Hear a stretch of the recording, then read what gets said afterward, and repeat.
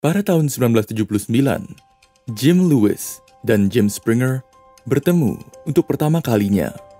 Mereka adalah saudara kembar identik yang dipisahkan saat mereka berumur hanya empat minggu. Namun, walaupun mereka hidup terpisah selama 39 tahun, kepribadian mereka hampir sama persis. Mereka berdua memiliki kebiasaan menggigit kuku. Ketika dewasa, mereka menikahi wanita bernama Linda, kemudian cerai, dan menikah lagi, kali ini dengan wanita bernama Betty. Anak mereka berdua bernama James Allen, dan bahkan merek rokok dan bir yang mereka sukai sama. Pasangan kembar yang hidup terpisah seperti Jim dan Jim merupakan studi kasus yang menarik untuk diteliti dan membuat banyak orang bertanya, seberapa besar pengaruh gen terhadap kepribadian kita? Apakah lingkungan faktor akhir yang membentuk diri kita? Atau apakah kita tidak bisa lari dari gen kita sendiri? Untuk menjawab semua pertanyaan tersebut, mari kita simak dalam video ini.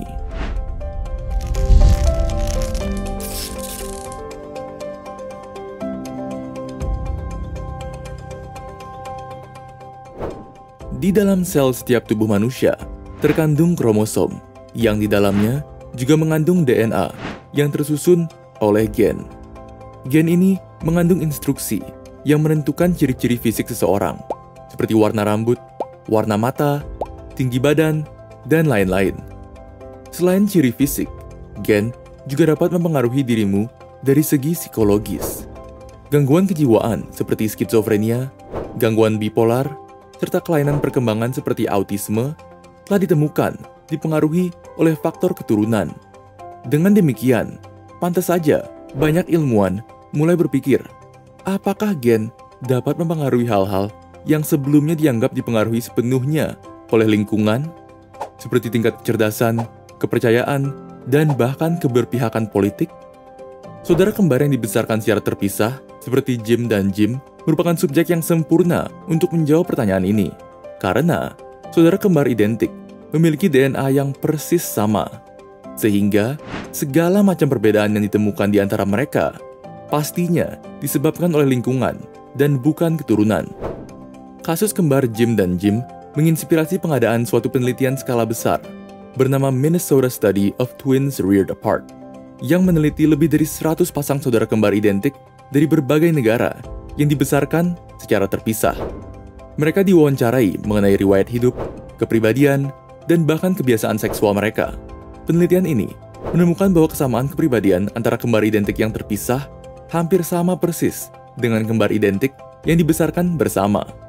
Bahkan dalam hal IQ, hasil tes pasangan kembar identik 70% sama, sementara kembar non-identik yang dibesarkan bersama hanya 55%.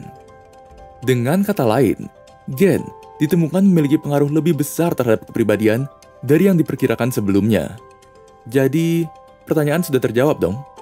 Hmm, seperti biasa, jawabannya tidak sesimpel itu. Konsep keturunan versus lingkungan tidak sepenuhnya akurat, karena konsep tersebut berasumsi bahwa suatu ciri-ciri manusia ditimbulkan antara oleh faktor keturunan atau lingkungan.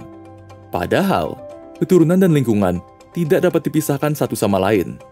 Bahkan, faktor lingkungan dapat merubah cara kerja gen kita sepenuhnya, sehingga orang yang memiliki DNA sama persis pun dapat memiliki perbedaan.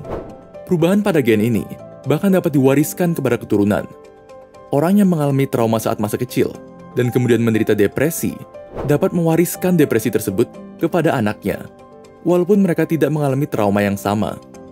Mekanisme perubahan ini dikenal dengan nama epigenetika. Supaya mudah dimengerti, kita bisa umpamakan hidup manusia sebagai suatu film, dan DNA sebagai naskah yang menentukan alur cerita. Tentunya, apa yang tertulis dalam naskah tidak selalu sama persis dengan hasil akhir film. Perubahan terhadap naskah dapat terjadi tergantung pada selera sutradara. Sama halnya dengan hidup manusia, yang dirancang oleh gen, namun dapat diubah dengan lingkungan. Jadi, jika kita simpulkan, gen tidak sepenuhnya menentukan kepribadian, apalagi jalan hidup seseorang. Pasangan kembar yang sama persis pun dapat tumbuh besar menjadi dua individu yang sepenuhnya unik. Maka, dapat kita katakan bahwa gen hanya sebatas potensial dari apa yang dapat kita capai, bukan takdir akhir. Hal tersebut justru berada di tangan kalian.